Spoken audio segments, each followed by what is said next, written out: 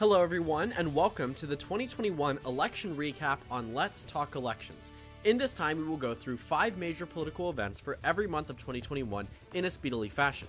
There may be some significant events missing, but I tried to prioritize the most important events of each month.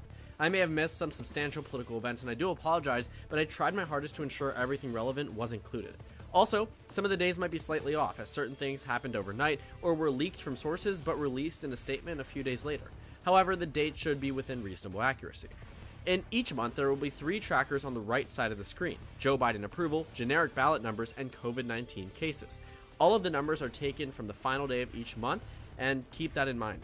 So, without further ado, let's begin with the month of January.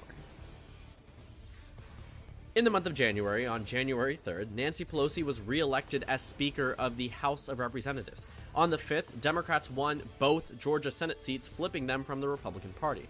On January 6th, the Capitol was stormed. There was an insurrection, and it was one of the most major political events in the past 20 years. On January 13th, Donald Trump was impeached again for the second time.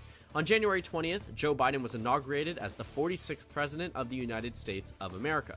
Joe Biden soared high in terms of his approval, there was no data in the generic ballot, and we were about 150,000 COVID cases per day at this point in time. Moving into the month of February, on February 1st, Nancy Pelosi and Chuck Schumer worked together to move to introduce the $1.9 trillion COVID 19 stimulus bill. On February 4th, Representative Marjorie Taylor Greene of Georgia's 14th District was removed from all committee assignments. On February 9th, Donald Trump's second impeachment trial began in the United States Senate, and on February 13th, Donald Trump was acquitted by a vote of 57 to 43, with 67 needed to convict. 50 Democrats voted to convict President Trump, and 7 Republicans joined as well. And in middle of February, the Texas power crisis occurred as a result of snowstorms that took the, the state by a storm. And the Biden approval rating remains pretty steady at plus 16. The generic ballot puts the Democratic Party ahead by six points, and the COVID metrics and the COVID cases per day seem to have cut in half in the month of February. In the month of March, on March 3rd, uh, the House passed the George Floyd Policing Act and the For the People Act. On March 6th, the COVID 19 stimulus package passed by a vote of 50 to 49 through budget reconciliation, with the only absent senator being Dan Sullivan from the state of Alaska. On March 10th, Joe Biden saw a number of major confirmations in the United States Senate, and then on March 30th, the state of Kentucky changed the Senate line of succession rules in the anticipation or possibility of Mitch McConnell's retirement with a Democratic governor in that state. And on March 31st, New York State, as the fourth largest state in the union, legalized recreational marijuana usage. Joe Biden continues high, Democrats remain at plus six, and we're about 64,000 COVID cases per day.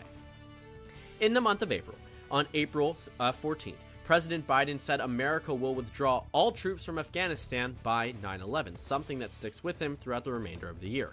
On April 16th, the United States administers over 200 million doses of COVID 19 vaccines, smashing President Biden's previous record of 100 million doses administered. On April 22nd, Washington, D.C. statehood passes the House of Representatives in a big win uh, for the potential 51st state. On April 26th, the new 2024 electoral map was released to the public and will be utilized through 2030. In April 28th, the California Secretary of State confirmed that Gavin Newsom will, in fact, face a recall election later that year and will be facing the voters yet again despite winning his first election back in 2018. Joe Biden remains at about plus 12.5% nationwide. The generic ballot dips a little bit for the Democratic Party, now only ahead by four points nationwide, and we're about 52,000 COVID cases per day in the month of April. In the month of May, on May 1st, the Democratic Party was locked out of the Texas 6th District special election, uh, one that the Democratic Party thought they might have a chance in, ultimately had no chance as there was no Democratic nominee on the runoff ballot. On May 12th, Representative Liz Cheney of Wyoming, a very top name within the GOP, was ousted from her leadership position by the House Republican Party. She ranked as the third highest ranking member in the GOP in the House of Representatives, ultimately pushed out of her position for her stances against President Trump. On May 14th, the former, uh, a number of former high-ranking GOP members threatened to leave the Republican Party out of its uh, unwillingness to move away from President Trump's agenda. On May 22nd, the Georgia Republicans move to their fourth recount of the 2020 election results within certain counties. And on May 28th, the January 6th commission to investigate the Capitol insurrection that occurred uh, months prior failed after receiving just very few GOP support in the United States Senate.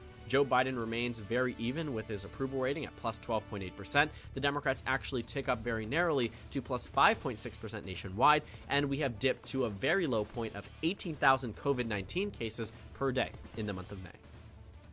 In June, on June 1st, the Democratic Party outperformed their 2018 and 2020 victories in the New Mexico special election in the 1st Congressional District.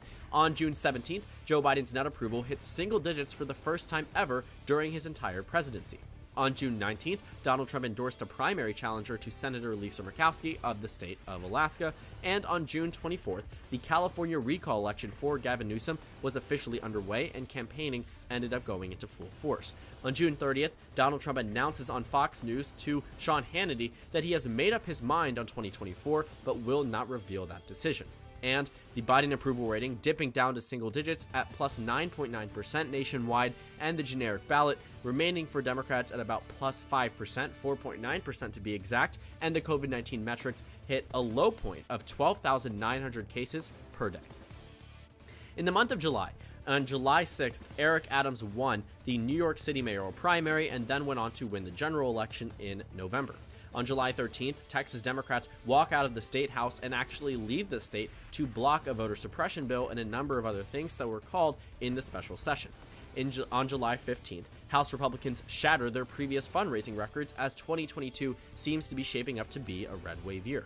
On July 29th, Trump endorsed Republican loses a contested GOP House primary in that hotly contested Texas 6th district. The Republican that won the primary ultimately, of course, went on to win that race. On the 31st, Donald Trump reveals he has raised over $100 million ahead of the 2022 midterm elections, giving the Republican Party a boosted war chest with Donald Trump added in. Joe Biden dips down to a lower point in approval, with the net approval being plus 8.1 nationwide, the generic ballot putting the Democrats ahead by 4.8% nationwide, and the COVID 19 cases surge across the nation to 78,006 cases per day. In the month of August, August 4th, centrist Shontel Brown wins the contested Ohio 11th District Democratic primary against Nina Turner. She goes on to win the general election later that November. On August 10th, Governor Andrew Cuomo of the state of New York resigns from office amidst a number of allegations against him. In the middle of August, Afghanistan's withdrawal becomes a mainstream issue for America and proves to be detrimental to Joe Biden and his administration. On August 26th, the Virginia Democrats outperformed Joe Biden in a sudden surge of support as new polls seemed to put them ahead further despite Joe Biden falling in approval. And on August 29th, Wisconsin Republicans aim to investigate the 2020 election and relitigate an election that has already been certified by the state itself. The Biden approval rating dips into the negative for the first time ever. The net approval is disapproved plus 0.6%, and the generic ballot dips for Democrats as well, with them being ahead by a mere 3.4% nationwide very similar to how much they won by back in the 2020 election, and the COVID 19 metrics double to 162,000 cases per day in the month of August. In the month of September, on September 6th, Donald Trump visits Iowa and holds rallies to seemingly prepare for the 2024 presidential election. A lot of anticipation there. On September 14th, Gavin Newsom, surprisingly enough, wins his recall election in a landslide, despite Joe Biden being disapproved of and Kamala Harris and Joe Biden campaigning on behalf of him. Many people expected decreased turnout as a result of that. On September 18th, voting begins in Virginia's gubernatorial race, a very hotly contested race and probably the most contentious of the election cycle in 2021. On September 26th, the GOP audit actually reveals that Joe Biden won by a larger margin than previously anticipated and calculated in the state of Arizona, proving yet again that Joe Biden did win the state of Arizona. On September 30th, census data from the 2020 uh, census year was officially available for the purpose of redistricting. And Joe Biden's approval rating moves down into an even worse point at disapprove plus 3.8%, taking the advantage nationwide. In the generic ballot, Democrats dip to plus 3.3% nationwide, and COVID 19 metrics don't seem to look too much better for the American public at 111,000 cases per day in the month of September. In the month of October, in early October, key swing states uh, number reveals that major dips in Democratic registration seems to have been happening across a bunch of states. A lot of the key states for 2022, Democrats are starting to see many people actually leave their party and move either to the Republicans or identify as an independent. In mid October, there was fully swung gerrymandering uh, across a number of large states, most importantly, Texas and Illinois. On October 20th, Joe Manchin calls rumors of him switching political parties BS, ultimately indicating that he has no intention at all of switching parties from Democrat to Republican. On October 23rd, Joe Biden falls to a new low of approval nationwide, the lowest point of his presidency at that point in time. And on October 28th, Republicans experience a last minute surge in Virginia and New Jersey as Joe Biden's approval rating seems to skyrocket, or plummet actually is the better word for it, across the nation. As you can see, the Biden approval rating now is disapprove plus 8.2% in terms of the net approval nationwide. The generic ballot dips a point again for Democrats, with them only being ahead by 2.5%, and the COVID 19 metrics seemingly better than the month of September at 71,000 cases per day at this point in time. And in the month of November, on November 2nd, Governor Phil Murphy of New Jersey wins re election as the first Democrat to do so in decades, a long time coming for Democrats in New Jersey. However, in the same day, in the same election, Republican Glenn Youngkin wins the Virginia gubernatorial race against the former Democratic governor Terry McAuliffe, who, interestingly enough, actually survived uh, what was expected to be a red wave in 2013 when President Obama was reelected. Democrats won the governorship in the state of Virginia, ultimately was unable to do that in 2021. On November 8th, the House of Representatives passes Joe Biden's $1 trillion infrastructure bill in a major victory for Joe Biden. On November 16th, Republicans take the lead in the generic ballot for the first time since 2016, five years coming. And in the end of November, multiple states reveal extreme partisan gerrymanders, putting the country at a worse position in terms of political representation and potentially participation. As you can see, the approval rating for Joe Biden does not fluctuate month from the month of October, and in the generic ballot, Republicans now take the lead at plus 0.7% nationwide. And the COVID 19 metrics, a bit worse than where they were the month prior at 83,000 cases per day. And in the month of December, there was the December 1st Supreme Court, uh, in which they have decided that they will hear arguments in the Mississippi abortion case rather than dismissing it entirely, citing Roe v. Wade. On December 20th, Representative Stephanie Murphy of the state of Florida is choosing to retire, marking the 21st Democratic retirement. On December 28th, more than 50% of all states finalized their brand new maps through 2032. On December 30th, we saw the largest number of COVID 19 cases recorded in a single day in the United States.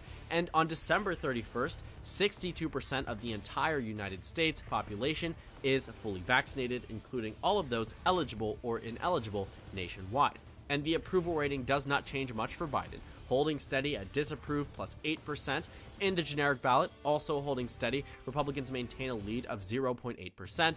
And as you saw on December 30th, we now experience the largest day of COVID 19 cases with 344,000 cases of COVID 19 per day at the end of the month of December. So, that's the recap. Thank you guys so much for such an amazing year going from the Georgia runoff elections in the beginning of the year on January 5th, live streaming that for you guys, to the Virginia governor's race, and also live streaming that for you guys. It has been such a wild ride. I'm hoping 2022 enters a lot smoother and is a lot better year than the past few, but that's just a hopeful uh, thinking there. Uh, this upcoming midterm election cycle is likely to be very interesting, so if you haven't already, please subscribe to this channel uh, for many updates. If you all like this style of the video and you want to let me know, please do. I'm back home from college, so I'll be able to make a lot more videos for you guys. Thank you guys once again for watching. I mean, uh, this has been such a wild ride over the past year, and while it is a year that typically there isn't much in terms of uh, political news uh, the, the political news cycle altogether. I think we've made a very good uh, community here and really been able to cover everything that we could have. And I think that the next year obviously will be a lot more important and a lot bigger things happening. But there was definitely uh, a good amount of things to cover, and I'm really happy you guys were here uh, along the ride with me. And here are my main sources. If you're wondering where I got a lot of these numbers from, I use sources ranging from Real Clear Politics to 538. And don't tell any of my professors this, but I used Wikipedia as a source. They, of course, cite their own sources, so I think it's pretty fair for me to use that one altogether, just to get a bit of an idea of what was happening each month. And then the rest I actually used from a bunch of different news sources. So I think that's just where a lot of this came from. Again, I'm sorry if I missed any major political events. I might have made a big mess up and completely missed one altogether, and I do apologize if I did that. Uh, I hope so. I hope that I did not because I really put a lot of effort into this video. But of course, mistakes can be made because this is a human endeavor, and human uh, humans are bound to make mistakes sometimes. So. Thank you guys so much for watching this video. Make sure to comment down suggestions for future videos. Subscribe on the left if you haven't already, if you would like to. Uh, make sure to follow on Instagram and Twitter. That is on the left side of the screen. There's also a Discord server for you to go ahead and join. On the screen, there's a video you can watch or not, and then a playlist uh, that you can watch for 2022 election analysis videos as we enter into the new year. Happy New Year's Eve, everyone. I hope you guys have an amazing New Year's Eve celebration. Don't spend time away from your family watching these videos. I probably should have told you that in the beginning of the video, but make sure you get off the screen, go ahead and spend time with whoever you're with, or even by yourself. Celebrate the new year. I hope that it's not the new year. I hope you're not watching this from the UK, because then I've already passed it and there was no point in this video altogether. But Happy New Year, everyone, and I hope you guys have an amazing rest of your holiday season, and I hope to see you guys next year.